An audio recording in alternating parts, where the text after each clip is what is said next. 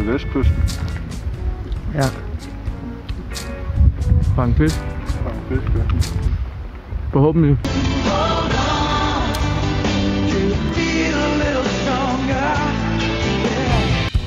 Rundt, vi er fanget. Vi nåede frem, trods stærke mennesker på citybikes.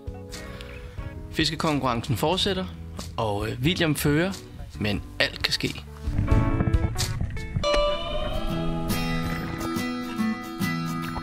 Det ser jo godt ud, nu.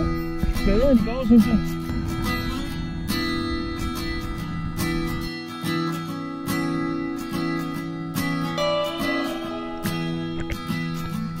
At vi skal rundt om den der spids, hvor der er lidt strøm og sådan noget. Ja, altså mit plan var lidt med vind.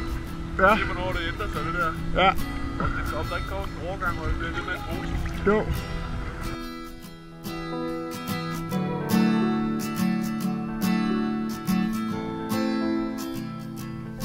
Her fandt William et pigvarskelet, så nu virkede det som om vi var på rette kurs.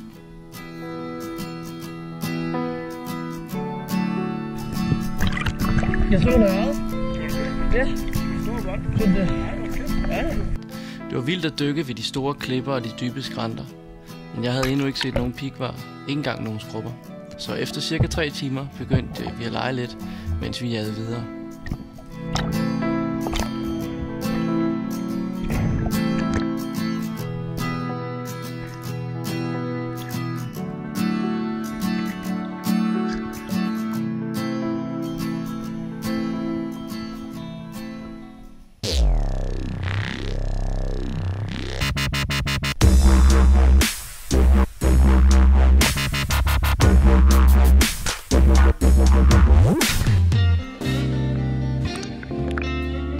Var der bid. Eller det vil sige næsten. Endelig fandt jeg en fisk. Så vinderfisk, det er pikvar. Hvis man fanger en stor skrubbe, og der ikke bliver fanget andet end skrubber, så er det skrubben, der vinder.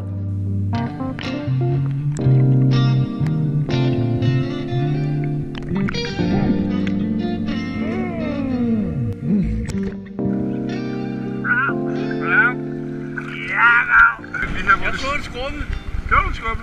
og jeg gjorde sådan der. Og så få den væk. Ja. Åh, fuck, fuck, fuck, fuck, fuck. Ved du hvad jeg så lige her, hvor vi sidder nu? Nej. Sådan en der står her. Er det? Ja.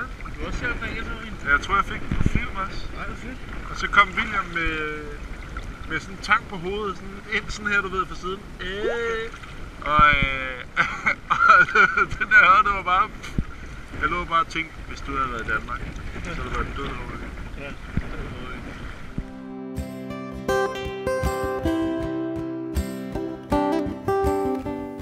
Nå, mens Emil dykker, skal vi så ikke øh, lave den der lækre gin, du har taget med? Jeg har taget en basis til med, som er med enebær. Og nu skal vi ud og finde nogle øh, svenske urter. Lidt lækkert, så lige får et strejf af otost. Ikke? Altså, smagen er jo meget god. Og det der. Smag på den. Mm, den er syrlig og god. Den begynder at blive sådan lidt tæt i det, og lidt harpikset. De der små der. Det er okay. Det skal bare lige trække lidt meget kort. Ja, Sådan lidt, et svenskersmag. sådan her. Yes. Det var, det Ja. Så.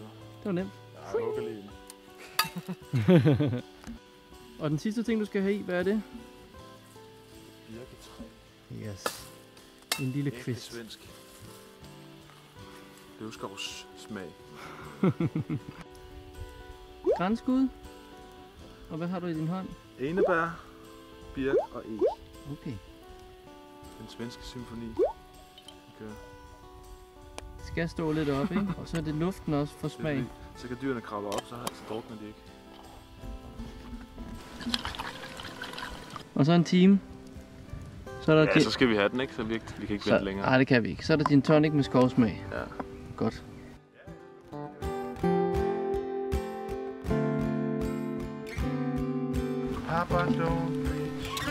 Mere i, mere i, mere i.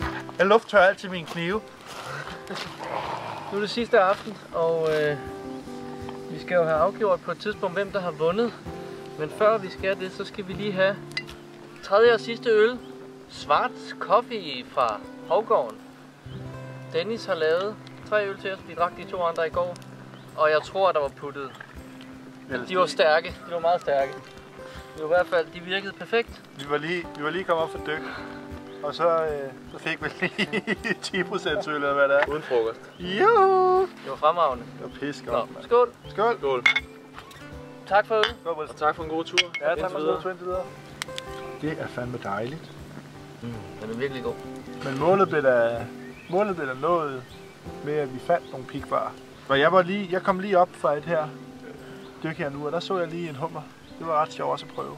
Det var rigtig sjovt at opleve. Det glæder mig til at prøve igen. Hvor vi må tage dem. Mm. Men det vil sige, det kan godt lade sig gøre det her med at tage til Sverige undervandsjage uden harpun. Ja. Der er ikke, der er ikke helt så mange skrubber. Altså, der er næsten, jeg har kun set én skrubbe i al den tid, vi har dykket, ikke? Jo, jeg så Og den lille, sige- og jeg så en lige her før også. Og du har set det tunger, og vi har set pikvar. Men det vrimler ikke med fisk. Så det er sådan... Nej, vi så, vi så der tre ører på dagstød. Nå, vi så Ja, er også. Hvor, Nå, ja, vi slet ikke, hvor vi ikke kiggede efter det, hvor vi, vi kiggede ned på bunden, og alligevel så så vi nogle fisk. Ikke? Ja. men, jeg mener mere sådan, hvad man kan fange. Altså, det, det, så, så, er du, så du har, så er du ninja, ikke? Ja, men vi så på, hvad dykkede vi? 200, et, et, 100, 100, 100, 150 meter stræk. Ja. Tre pikvarer. Ja. Ja. Godt nok på 8 meter vand, så det er jo svært at, Ja, ja. Svært at gøre det sådan fuldstændig effektivt. Men Og så er vi jo også uden for sæsonen lidt, ikke? Altså, vi, de, de siger det er allerbedst i april her. Men jeg vil sige, vi kom jo også der torsdag aften, og så fandt vi muslinger og... Ja, muslinger har været en stor del af kosten, ikke? Jo, det, er- altså man går sgu ikke sulten i seng her, hvis man glemmer at købe pølser med et eller andet. Der kan man virkelig øh, tage for sig.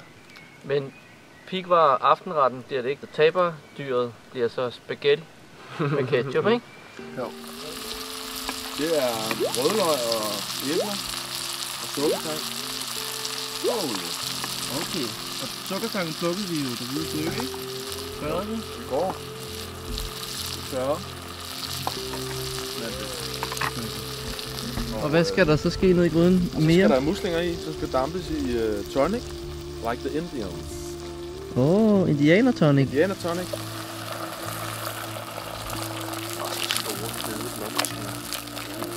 Noget med at sidde og slå og se, om de lever af det. Det er bare afsted. kommer direkte udefra. Sådan. Så kører det. Det er snart, det, står, det øh, damper ud og står ud over det hele. Der er masser af varme på, så er det færdigt. Kører turistpølse ved siden af. Livet som en ikke musling elskende mand. Ej, jeg skal have noget mere pasta med banæs. Taberpasta. Så er der Indian mussels. Indianermuskler, det er jo de røde af dem. Det var ham, der, øh, ham, der fandt på det. Det var ham, der kaldte... Øh, øh, hvad er han kaldte? Modig musling. Altså. Han sagde ikke et ord. Og har vi lavet den her. Nu vil vi endelig spise vores chorizo-pølser. Wow, det ser godt ud. Ja. Er den god? Er sindssygt godt. Er det godt med tonic? Ja. Er det det nye? Det er det nye. Den New Nordic? Emil, hvis ikke du skynder dig, så er gryden tom. Det er det, når man tager en øh, Et bolsje, og så helt bold lortet. til jer, og så er det... Nå, det var ærgerligt for jer andre. Så prøv lige at komme og smage det her. Det er godt.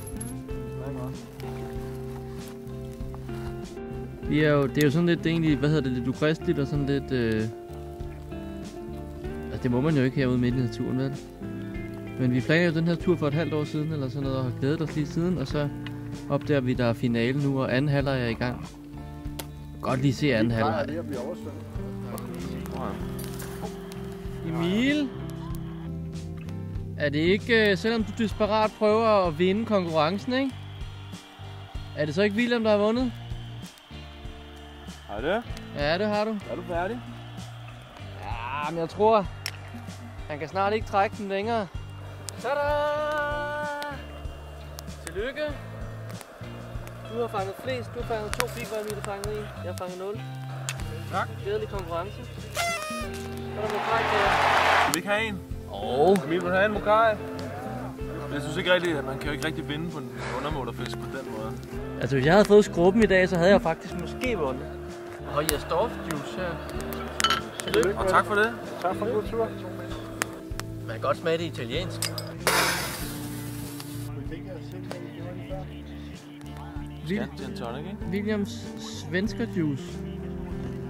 Det er en uh, Vi er gode til at dykke, og vi er endnu bedre til at lave øh, juice. gin, gin and the juice.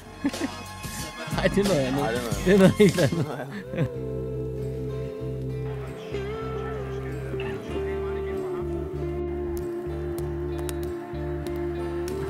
Det der Red Hawk over de drenge der. Jeg savner faktisk... Øh, Ja, jeg, jeg savner faktisk Spiros. De lavede nogle fede nogen. Jeg synes seriøst, vi skal tage kontakt til Spiros og så lave noget med gængeren.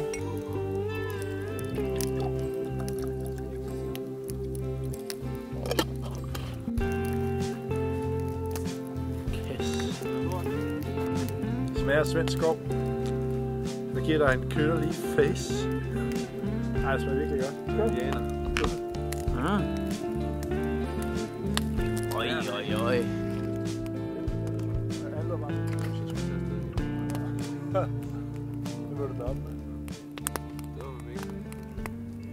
Han kan ikke gå hen i det.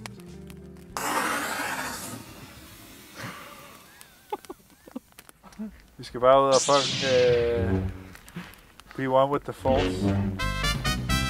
Men hvad med... skal prøve, hvor det er hen, så kom.